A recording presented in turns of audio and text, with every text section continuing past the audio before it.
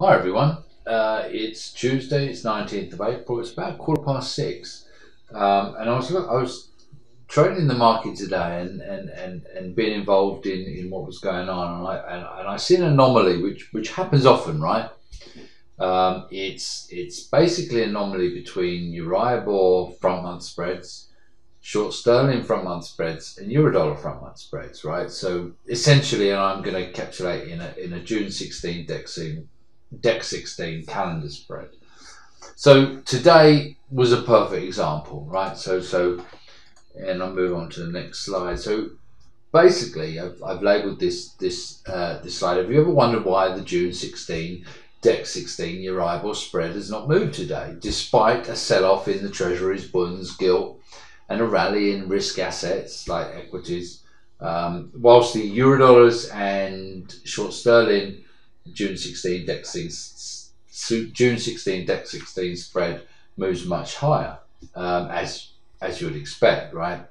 So why am I talking about this? And, and essentially, the clue could be looking at the FX forwards, and I know some of you trade FX forwards as um, um, you know, sort of typical uh, roll trades. Um, but you know, the FX market is supposedly about 5.3 trillion dollars per day.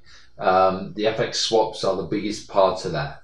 Now, I'm not getting you to want to trade FX swaps, but what I am thinking about is maybe you're missing a piece of the puzzle in terms of you know the trades that you're trading and you know, maybe being able to look at everything that's causing some of these moves, right? So um, I used to trade FX swaps at a bank in the day, uh, back in the day, and you know these are very important pieces of information. You know, often, as you know, the FX spot currency moves move our products um, with risk on, risk off, um, and and there is no exception about FX swaps. So I think that you guys should be looking at them, right? So let's moving on. This is how I look at the world, right? This is how I look at the world of trading, right? So what I have here, what you have here are my positive indicators. I don't even care about volume, right? What I care about is direction, momentum. That's all I care about. So what I've got here this dividing line where my mouse is wiggling around are my positive indicators are the five ladders and they're very small ladders right if you see what I've put on there. And then I've got my um, negative indicators right? So what what would I be? My positive indicators are um, for instance I've got my uh, 10 year treasury note future. I've got my Australian 10 year note future. I've got gold, COMEX gold, outright, and these are all outrights by the way. Then I've got the Bund, and then I've got the gilt outrights. Okay, so all typically highly correlated products. And then on, on the right hand side, I've got yen dollar. Remember, it's not dollar yen, if you, so it's quoted yen dollar. Um, I've got um, the LME uh, copper price. I've got Brent front month. I've got an Aussie dollar FX, so Aussie US dollar June 16 outright, and and then I've got the mini S&P, right? So so why have I called them positive and negative uh, indicators, right? So essentially, what I'm looking here, I'm generally looking to the right hand side to give me information about the left hand side, right? So I've got my dollar yen, I've got my LME copper, so I've got my dollar yen, I've got over here on the far side the Aussie. Um, so I've got my currencies there. So basically, um, why I picked yen and, and Aussie. Yen is notoriously known as a safe haven currency. Um, if people are buying um, the the yen, um, you know, generally that would be a case of a safe haven trade, right? So what I've got here on the on the on the left hand side, I've got my treasuries, uh, my Aussie, uh, my gold, gilt, and bund. Right. So this is why I've lined this up here. It, we're talking about June 16, Dec 16. Right. So as you've gone through today, it's quite clear. You know, you've, you've had a sell off in in. So what I'm going to look here. So what I've got here. I've got my FX swaps, which are my FX calendars on the top on this ladder here. Then I've got three ladders where my mouse is, right? So I've got the June 16, Dec 16 Euribor spread. I've got the June 16, Dec 16, um, that is the short sterling spread. And I've got the June 16, Dec 16 Eurodollar spread, right? So on that previous slide, we've had um, we've had a little bit of a recovery in the last hour, but we've had a treasury sell-off, equities up, energy up, Brent up, Aussie up. So we've had, you know, kind of a, a, a risk on day, right? So as you would expect in a risk on day, you've seen the front month calendar, you know, the white spread, so June 16 to Dec 16. You've seen those, they're going up, right? So as the long end is going down, the front end of the curve can't keep up with that, so you've been steepening in the curve. Now think about what's happened, right? So you've had a sell off in the Bund right? So you've had a sell off in the Bund, yet what's the difference? So if you look here, quite clearly you've got a mid price of about minus three and a half in June date Euribor. Short sterling spread has gone up all day with the sell off in the outrights, and Eurodollars has gone up all day. The June 16 Dec 16 has gone up all day um, with the sell off in the treasuries. So you've got risk on, uh, you've got long end selling off. Why, or not necessarily why, because people may think, oh, well, it's because of ECB on Thursday. No, it's not.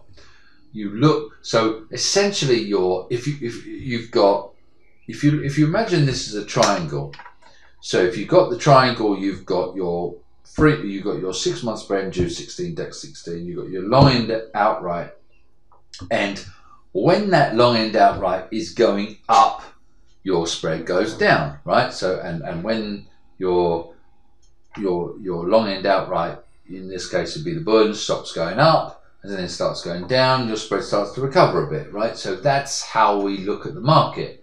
But if you'd have traded today, there were times when you had that a little bit, but compared to short sterling and compared to euro dollars, it was very different, right? So, and here's thinking about that triangle, you're looking at the market in a you know, June 16, Dec 16, and the long end, but I'm adding that third leg of the triangle, right? So, and you know, if you think of a tripod, it's always more stable with that third leg. So, what you've got here on this little chart, it's very difficult to. Um, th- these are very, these are traded extremely infrequently outside the rolls the FX swaps, that is, right? So FX swaps are your FX calendar spreads. So this chart here is a spread of the June 16 euro to the March 17 euro, right? So it's a nine month FX swap. I picked nine months just so that it, it, it uh, exaggerates the move, right? And, and well, it didn't exaggerate the move, it told the story of what was happening. So you've got Euribor spreads not going up in a sell-off in the Bund, and you've got euro-dollar spreads going up in a sell-off in, in the Bund and the Treasury, right? As per normal.